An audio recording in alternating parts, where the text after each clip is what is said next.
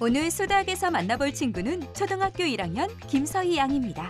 장래 희망은 선생님이라고 합니다. 야, 선생님이니까 또 우리 선생님들이 오늘 좀 더 관심 갖고 네네. 챙겨줘야 될 것 같아요. 이런 서희에게 수학은 생각 주머니를 늘어나게 해주는 거예요. 아. 정말 그 아이 시 같은 표현 아닙니까? 그래서 좋아하는 과목이 국어잖아요.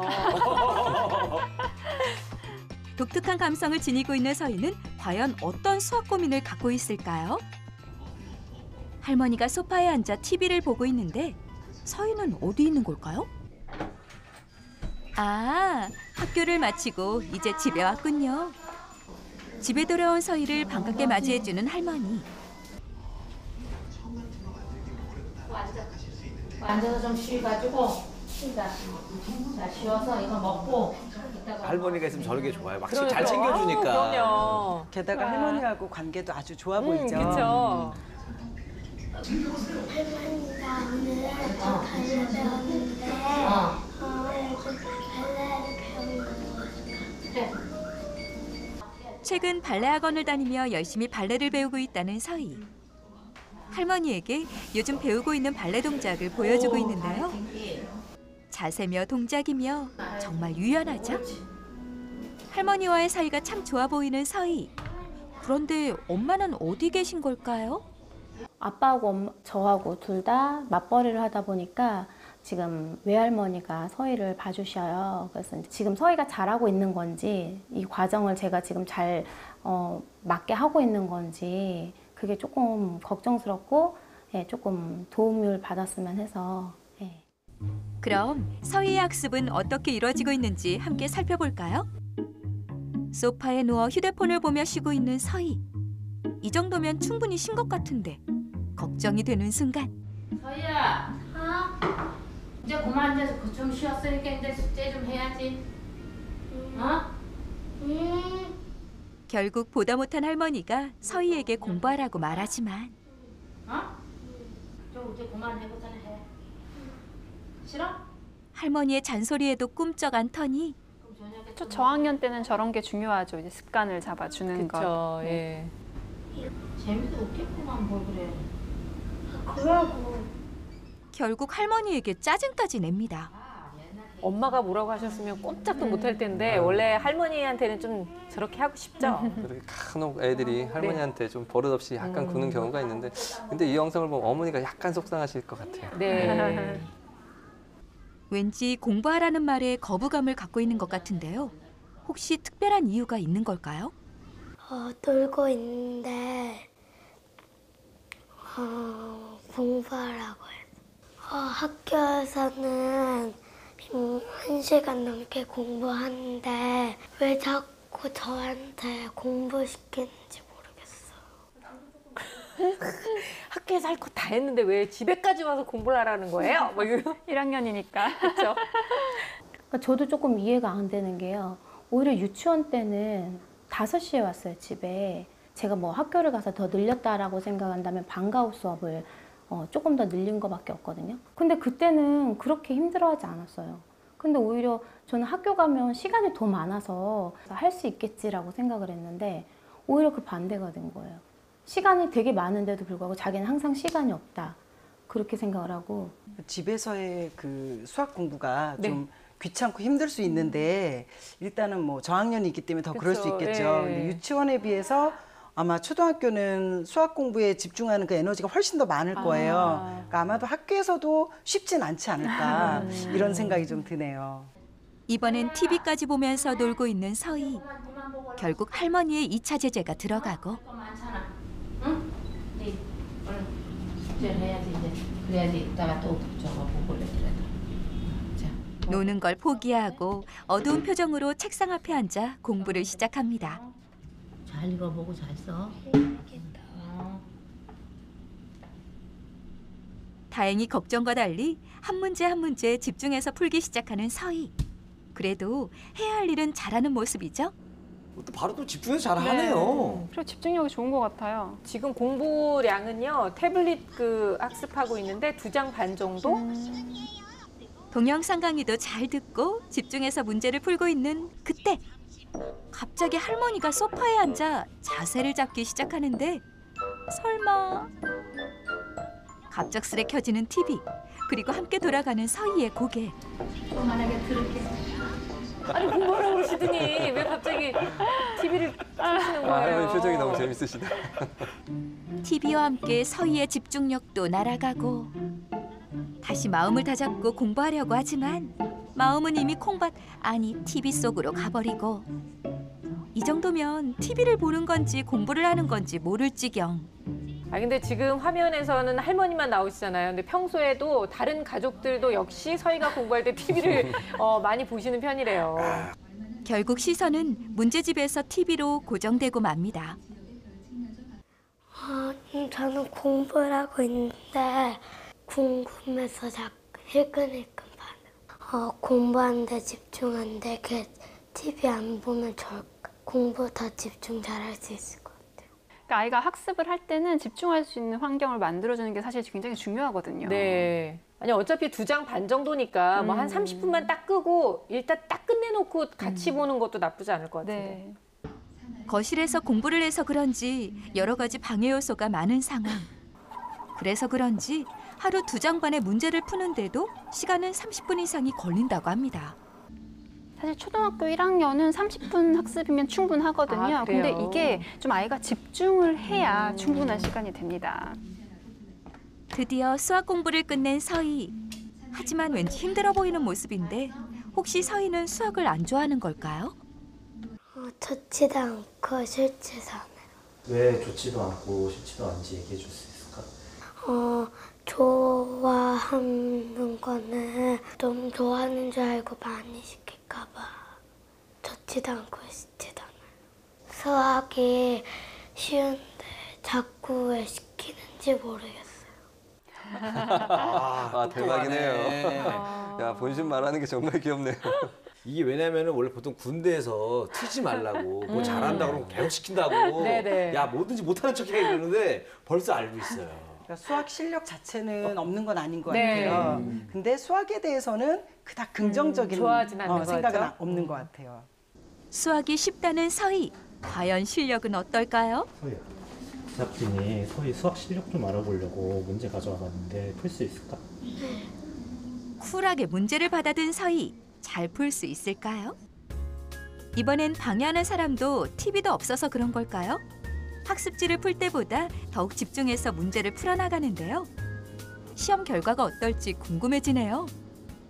채점 결과 거의 모든 문제를 다 맞춘 서희. 사실 학교에 들어가기 전부터 엄마가 연산학습지를 시켜 기본 실력은 탄탄하다고 합니다. 하지만 엄마는 최근 들어 또 다른 고민이 생겼다고 하는데요. 제가 그 학습지를 계속 보다가 이게 제가 이제 가끔 확인을 하는데 하- 할 때마 이제 볼 때마다 더하기 빼기를 굳이 이렇게까지 시키지 말자. 애가 너무 좀 지겨울 것 같은 거예요. 그 문제를 계속 푸는 게. 그래서 제가 그래서 그냥 학습을 그냥 중단을 하고 그건 중단을 하고 그냥 기본 지금 학년 레벨에만 맞게 얘가 패드로 수업을 지금 하고 있는데 연산을 계속 해야 되는 게 맞는 건지 아, 좀 이렇게 학년에 맞게 그 정도 어느 정도만 할 줄 알면 그거를 그냥 이렇게 안 해도 되는 건지 예, 그게 조금 예, 제가 어려워요 저도 지금 서희가 근데 꽤 잘하고 있거든요. 그러니까 어머니 말씀이 맞아요. 그래서 연산을 더 할 필요는 없고 지금도 잘하고 있으니 네. 아, 저런 결단을 내리는 게 쉽지 않으셨는데 않죠. 어머니 네. 결단력 있으시네요. 그럼요. 네. 불안하시거든요. 네. 보면 멈추면. 현명하신 것 같아요. 네네 잘하고 계십니다 어머니. 드디어 모든 공부를 끝내고 마음 편히 쉬고 있는 서희. 그때 현관문이 열리고 일을 마친 엄마가 들어옵니다. 아유 세상에 목소리가 아주 그냥 아까 인터뷰할 때 너무 다르네요. 그죠? 엄마를 반갑게 맞이하는 서희.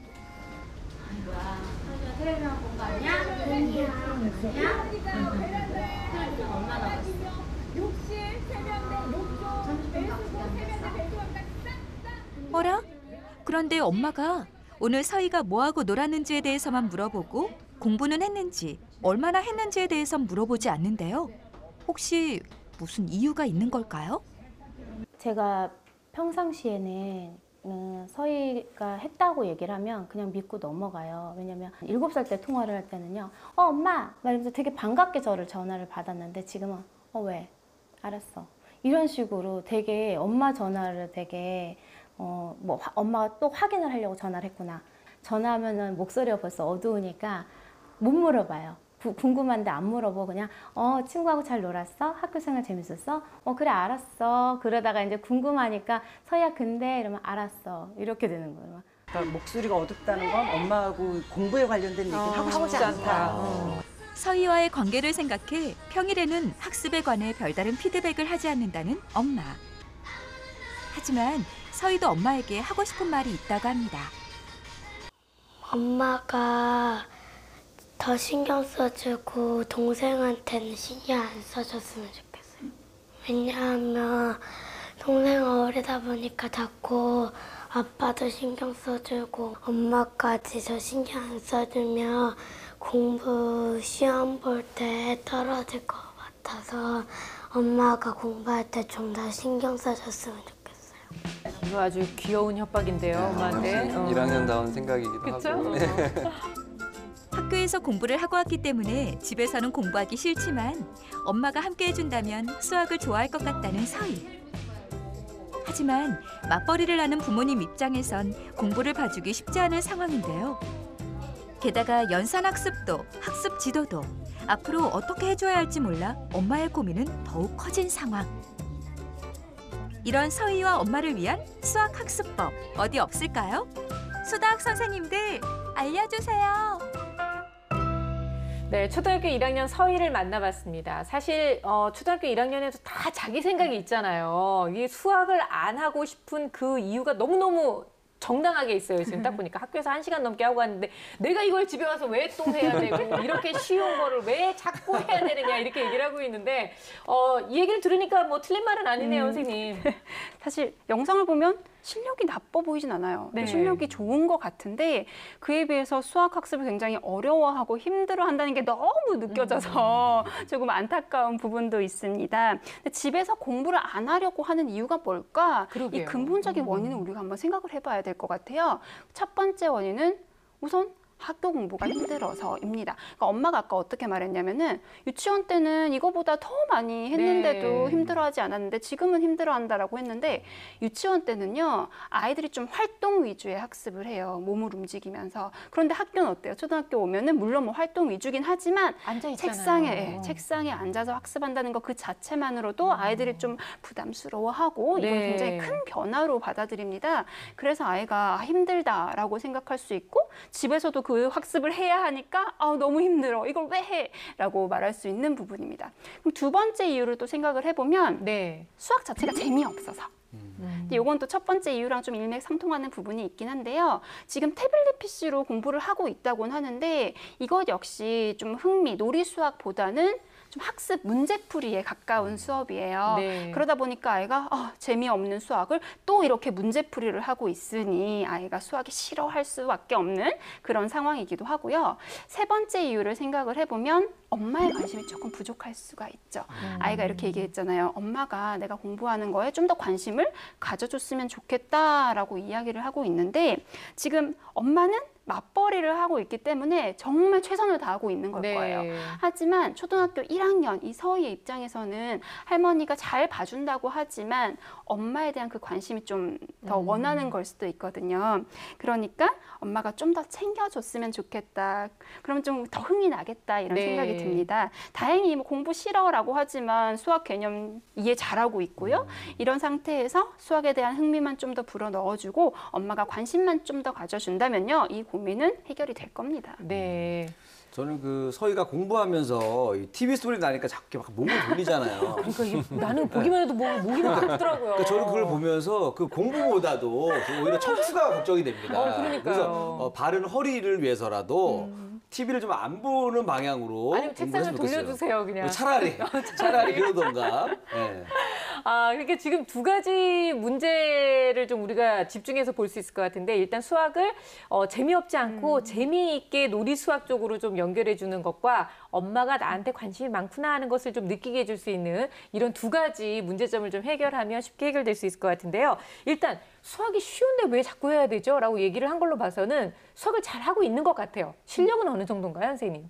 네, 자신감을 가져도 될 만한 아, 실력입니다. 그렇게 네. 얘기할 만하군요. 네, 네, 다행히 지금 기본 실력은 어, 아주 좋습니다. 1학년 수준의 기본 개념을 정확히 이해하고 있는 것 같아요. 네. 홀수 짝수 문제에서 네. 한 문제 틀렸는데 이 부분만 잘 해결해 준다면 뭐 지금 현재로서는 뭐 더할 나위 없이 수학 실력은 잘 갖춰져 있다고 보여집니다. 네. 다만 이제 집에 와서까지 공부를 해야 되느냐. 뭐 충분히 1학년은 이런 말을 할 수 있어요. 그쵸. 왜냐하면 네. 음. 초등학교에 들어오면 선생님에 따라서 수업 자체가 좀 딱딱할 수도 있고요. 수 있고. 본인이 생각하지 않은 방식이기 때문에 어쩌면 이제 1학년이니까 음. 어, 학교 생활에 적응하는 그런 과정에서 학습의 부담감을 많이 느끼고 있는 것일 수도 있습니다. 네. 그래서 어머니께서는 지금 보다 더 집중적으로 학교 생활이 어떤지 네. 학교의 생활에 재미를 붙일 수 있는 그런 질문들을 해주시면 어, 지금 서희가 가지고 있는 이 실력을 그대로 유지하면서 학교 공부에 대해서도 긍정적인 마인드를 가질 수 있을 것 같습니다. 그러면 어떻게 하면 집에 와서 하는 이 수학 공부를 싫어하지 않고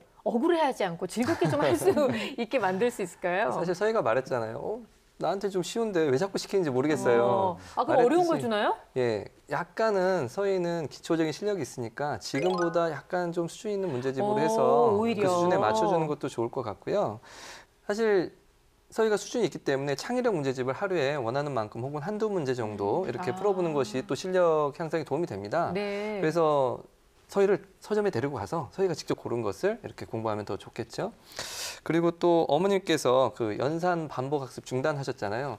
저는 이 점은 매우 칭찬드리고 오, 싶습니다. 그러니까요. 사실 왜 그러냐면 많은 학생들이 그 반복 연습에 의해서 수학을 많이 질려합니다. 흥미 떨어지면 더 안 봅니다. 그러니까 가장 중요한 거 공부가 좀 재밌다 혹은 음. 흥미가 있다 그런 것들 유지시켜 주는 거 그걸 또 알려주는 거에 중점을 두고 교육하시는 게 가장 좋습니다. 네. 그리고 환경도 또 이렇게 안 받쳐주면 좀 중요하죠. 음. 공부하기 좀 어려우니까 아까 우리 봤듯이 어, 공부할 때 TV 조금 자제해 준다든가 어, 또 그에 반해서 공부방을 또 따로 마련해 준다든가 하는 음. 그런 후속 대책도 좀 있으면 더 좋겠습니다. 그래요. 어머님이 네. 꼭 기억해 주셨으면 좋겠어요. 서희를 또 지원해 줘야겠네요. 재미있는 학습을 하기 위해서 어떤 방법이 있을까? 네. 네. 팁을 드리면 놀이 수학인데 놀이 수학이 어떤 것이 있나요? 보드 게임도 되고요. 블록 조립하는 것도 되고 수학 뭐 동화책 읽는 것도 사실 수학과 관련이 있습니다. 그리고 수학 퀴즈 같은 것도 굉장히 애들이 재미있게 수학을 접할 수 있는 방법인데요.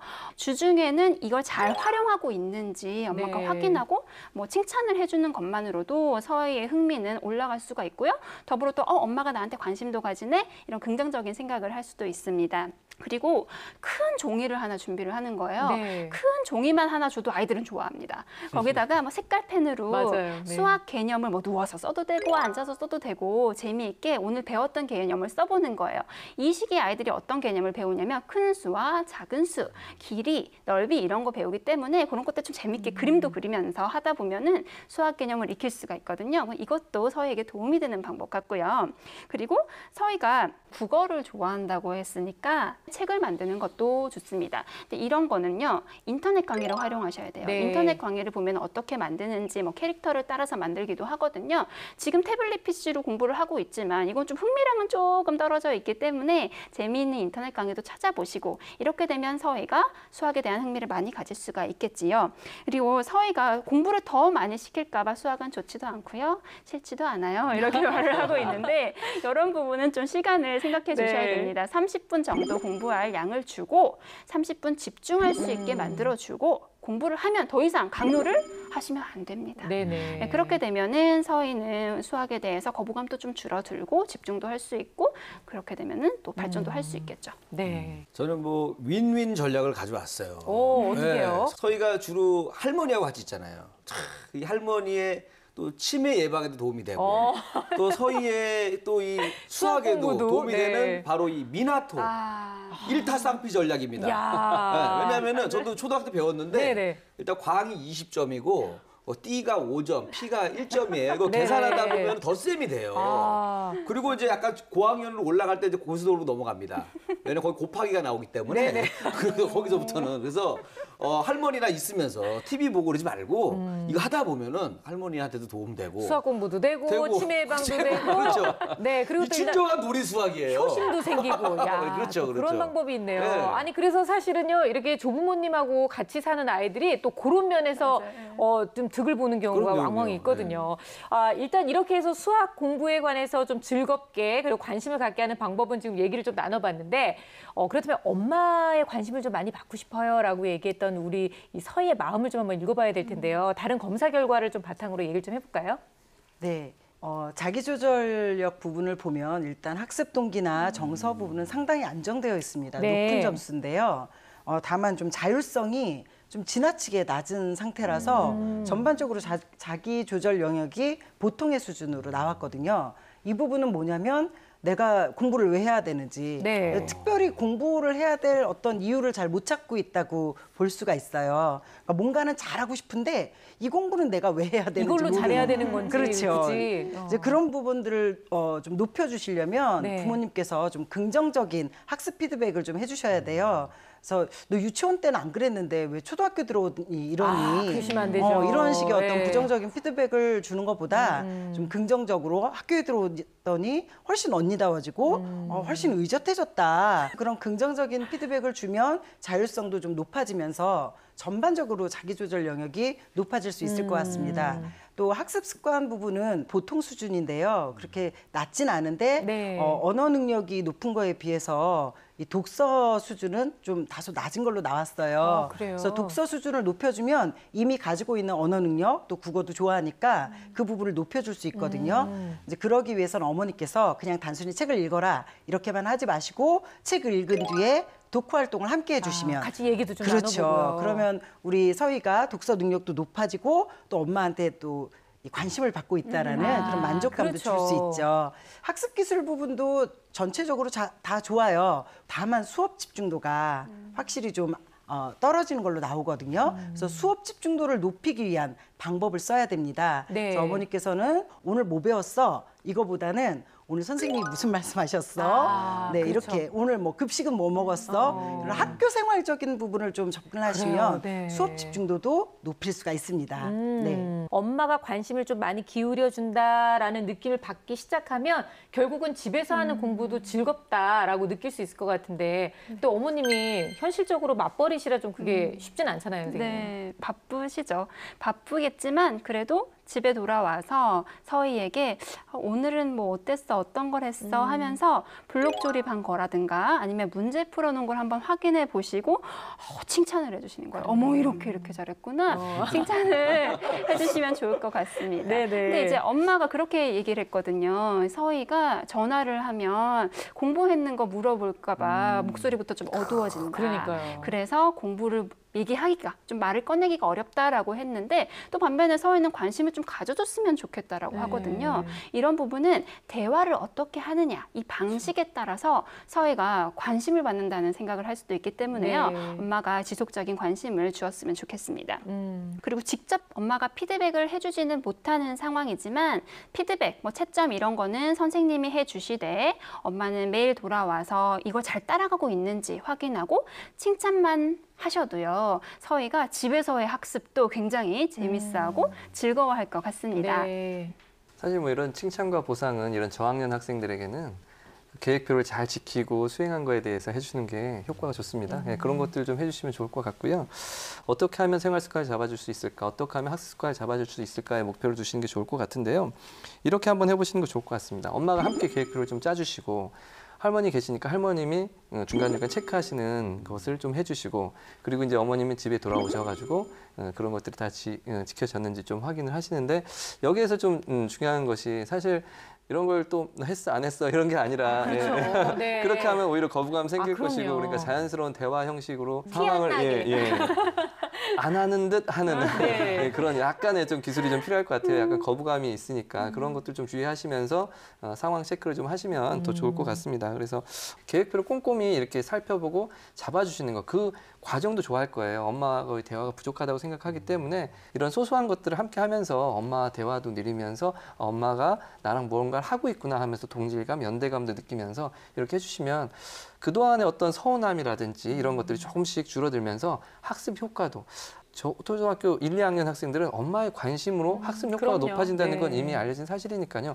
힘드시라도 조금만 관심을 쏟는 그런 음, 대화를 많이 하시면 좋을 것 같습니다. 뭐 서희가 바라는 거는 동생보다 나를 좀 더 챙겨줬으면 좋겠다. 이게 어 그냥 직접적으로 얘기를 했잖아요. 어머님이 티 안 나게 동생은 좀 덜 이뻐하시는 것처럼 하시면서 난 서인이가 너무 이뻐 이런 것만으로도 일단 서희한테 굉장히 큰 도움이 될 것 같은데요. 어머님을 위한 조언도 좀 부탁드릴게요.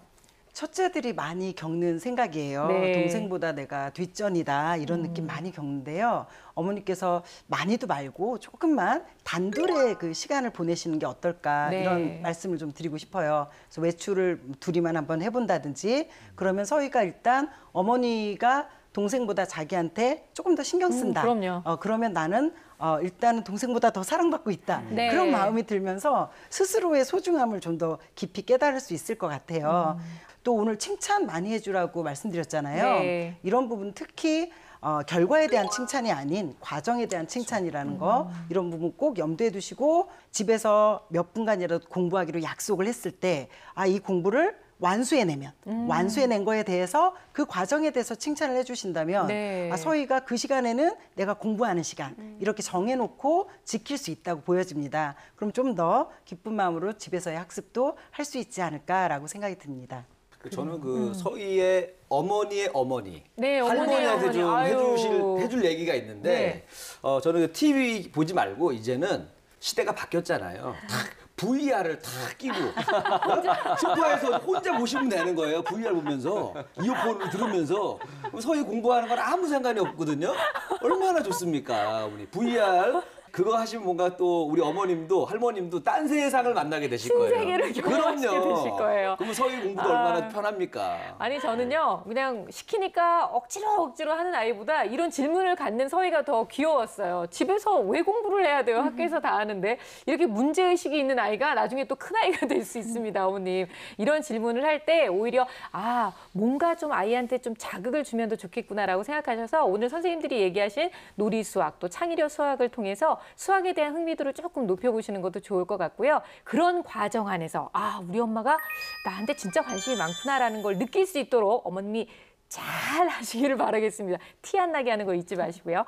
어, 저희가 오늘 우리 초등학교 1학년 서희를 위한 솔루션을 제공을 해드렸는데요. 그중에서 절대로 놓쳐서는 안 돼 결정적 한 한방 방. 정리해 봅니다.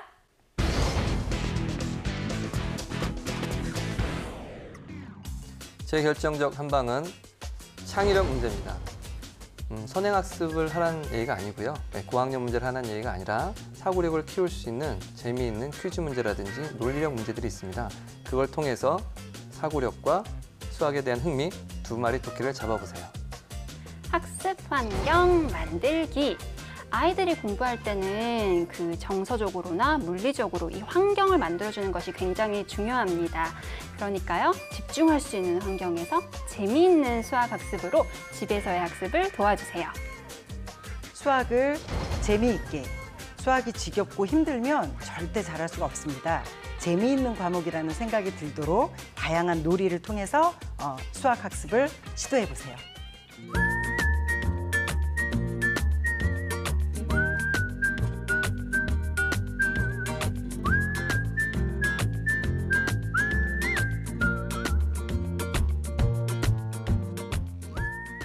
예전에 우리 다 그런 경험 있잖아요. 책을 그냥 읽으면 너무 재밌게 읽을 수 있는 책인데 꼭 학교에서 독후감을 쓰라고 생각하고 이거를 읽으면 그 책이 그렇게 재미없을 수가 없어요. 그것처럼 공부도 공부라고 느끼는 순간 이 마음에 부담이 되고 짐이 되고 정말 하기 싫어하는 게 되는데요. 어, 초등학교 저학년일수록 공부라는 것은 그렇게 부담스러운 것이 아니라 얼마든지 즐겁게 할 수 있는 것이다라는 것을 알려주는 것이 가장 어, 큰 아이에게 자산을 주는 것이 아닐까라는 생각이 듭니다. 어, 아이가 너무 빨리 수학에 대한 마음의 문을 닫지 않도록 어, 부모님께서 옆에서 많은 칭찬과 격려로 문을 활짝 열 수 있도록 많이 도와주시기 바라겠습니다. 자, 오늘 수학은 여기까지고요. 저희는 다음 시간에 다시 찾아올게요. 여러분들의 수학 궁금증 그리고 수학 고민 늘 받고 있으니까 저희 게시판을 통해서 많은 글 남겨주시기 바랍니다. 다음 시간에 뵙겠습니다. 고맙습니다.